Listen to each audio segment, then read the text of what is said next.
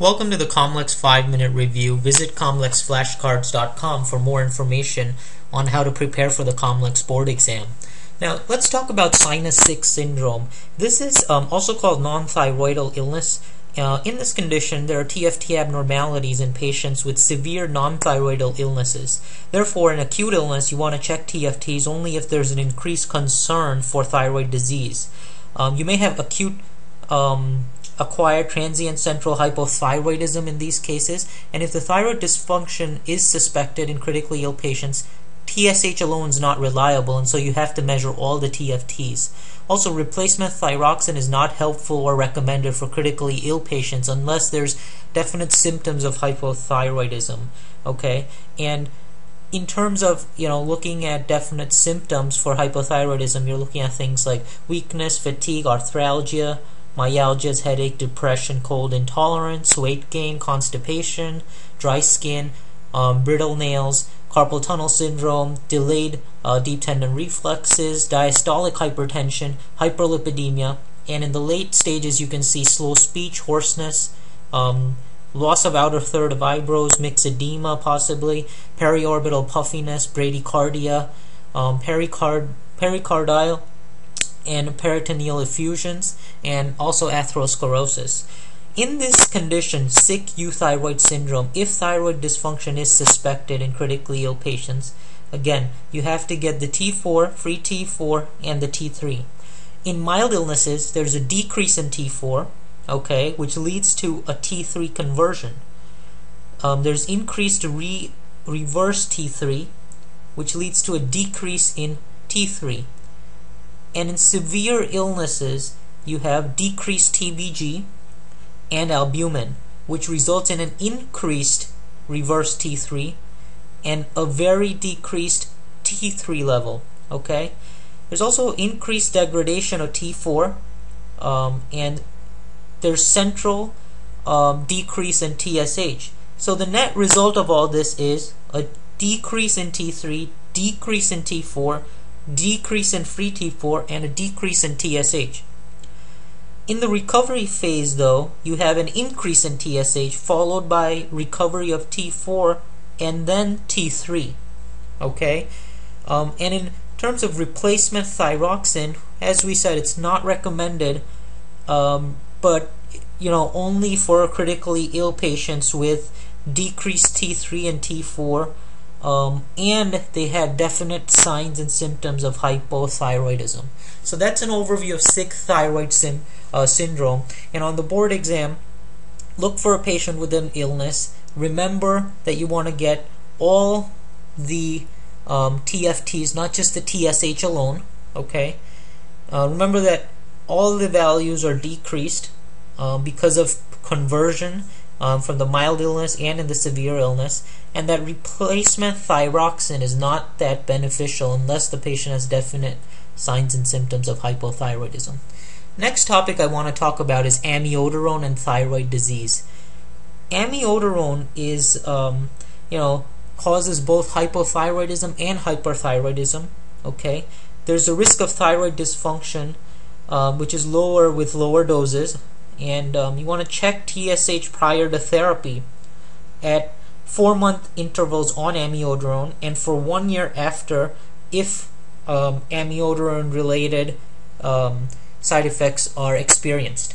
Now, in terms of the hypothyroidism, which occurs in 10% uh, and more common in iodine replete areas, there's the Wolff Chaikoff effect. What is this? This is basically an iodine load which decreases iodine uptake, leading to organification and release of T4 and T3. It inhibits conversion of T4 to T3, and there's direct immune mediated thyroid destruction. Okay, so the net result of all this is there's an inhibition of T4 to T3 conversion. Okay, the iodine load decreases iodine uptake organification, and as a result, there is um, a decreased release of T4 and T3. So that's what causes the hypothyroidism. You have less release of T4 and T3. T4 is not being converted into T3, and there's also immune-mediated thyroid destruction. All of these three things can cause hypothyroidism. In normal individuals, there's decreased T4, and then an escape Wolff Chaikoff effect occurs, and they have again an increased T4, decreased T3, and increased uh, TSH. And then after a while, in one to three months, the TSH level will normalize. Okay. And in susceptible individuals, such as patients with subclinical Hashimoto's thyroiditis, where you would see the um, positive um, antibody test in order to make sure that they have that, the anti-thyroid peroxidase um, antibody. They may not have these escape effects, okay? And to treat this, usually thyroxine is given to normalize the TSH. Um, and you may need a larger than a usual dose, okay? So that's uh, basically the hypothyroidism and amiodarone. Now let's talk about hyperthyroidism. There's two types. Type 1 is an underlying multinodular goiter or an autonomous thyroid tissue. Um, there's something called the Jod Basedow effect, okay?